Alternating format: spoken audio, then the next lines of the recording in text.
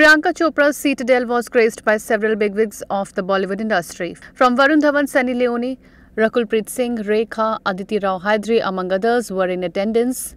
Priyanka Chopra was a sight to behold in thigh-high slit blue gown from Versace. She arrived at the event with her co-star Richard Madden.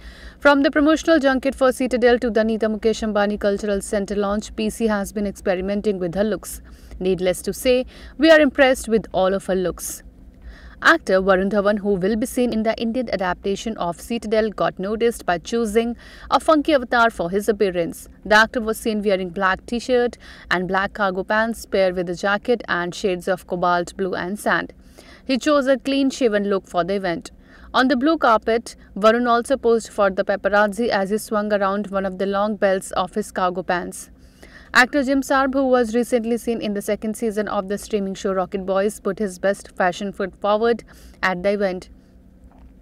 For the occasion, Jim's sartorial choice included prominent shades of black teamed with sea green and crimson.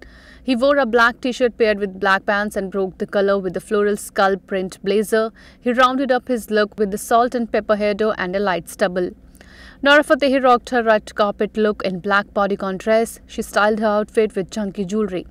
Social media influencer Kusha Kapila, Sophie Choudry rocked their looks in black. Rakul Preet Singh exuded chick vibes in a romper. Sunny Leone also made several heads turn in her green outfit. Meanwhile, Citadel, which will see Priyanka stepping into the shoes of an elite spy, will tell the story of the eponymous spy agency as it puts together its resources to get back the memories of its agent from across the world after one of their own agents goes rogue. The series will drop on Amazon Prime Video on April 28, 2023. IANS report. Subscribe to our channel. Just click on the bell icon for all the latest updates.